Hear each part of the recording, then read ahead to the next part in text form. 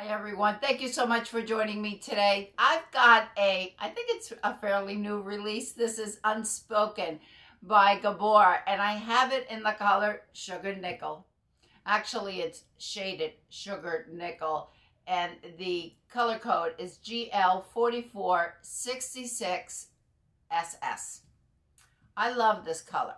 I had it oh my gosh, about two years ago on uh, Modern Motif, and I absolutely, I reviewed Modern Motif, but I did not like that wig on me at all. However, I love the color. So when I saw Unspoken, which is a relatively new style, at the Wig Studio One clearance section, I grabbed it and I thought, okay, that's more up my alley. This is a little bob. I just took it out of the box. I haven't done anything to it. It still has the zigzag part. I like to wear gray sometimes. And this gray, it, it there's a little bit more uh, silver in it than there is on my bio hair, but I think it's really pretty. It there, but there's definitely more more silver, more of that white, and we do have a dark root. Which I need a dark root because with my dark brows, if I don't have a dark root, it just doesn't look right. This color, looks uh, similar to Chrome RT1B from Estetica. However, we do have lighter fibers on the front, which I'm really interested in seeing. Let me show you the cap and then I'll slip Unspoken on and we'll take a look and I'll give you my thoughts. It appears to be a center part, right? Doesn't that look like a center part to you? It doesn't say on the website Therefore, I'm really a little confused, but it appears to be center part, which I'll be able to tell as soon as I put it on. And we have felt covered ear tabs, a non-extended nape, and Velcro adjusters. There is lots of stretch to the cap. What I'm wearing right now is Forever Chic by Gabor in the color dark chocolate, GL46. Gabor tends to run a little bit on the on the larger end of average. In order for it to accommodate my 21 and a half inch circumference, I have to cinch it in almost to the center. I just find that it runs really big on me. Almost, and it, it probably would fit like a 22 and a half, honestly. All right, we have some pretty layers right here towards the on the front. I think we can wear it a little undone, if you will, and it will look really pretty. Pretty bob. It weighs 3.6 ounces.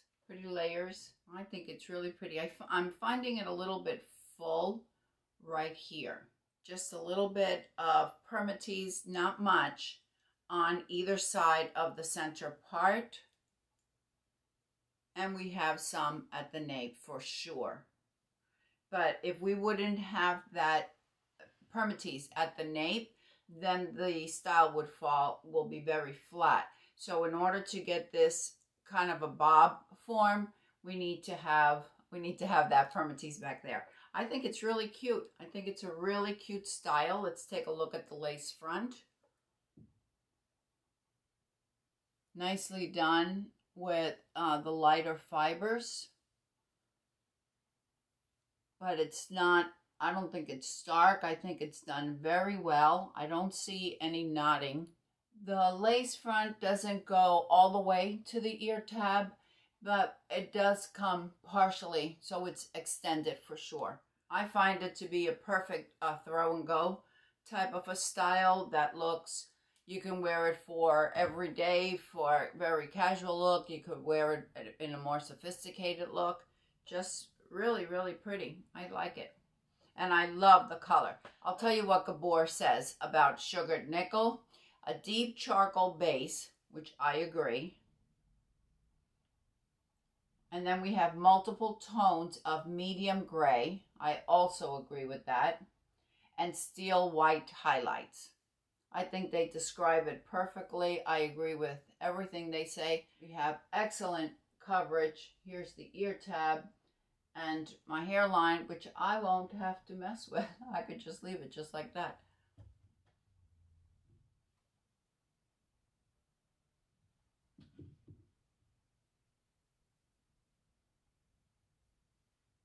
Let's go over a few of the measurements. On the front, we have a bang of seven and a half inches. My hair, my face from hairline to chin is seven and three quarters, and my collarbone, my, collarbone, my neck from chin to collarbone is five inches. We have a crown of 10 inches. The nape is three inches. The sides are seven and a half, and the back is eight and a half. So we don't have an awful lot of layering, but we do have some, which I think really serve to for this kind of feathery look. We could wear it messy, a little messy. We could wear it very, very done. I think this will be really pretty off the face. Just put a clip up there or with the headband.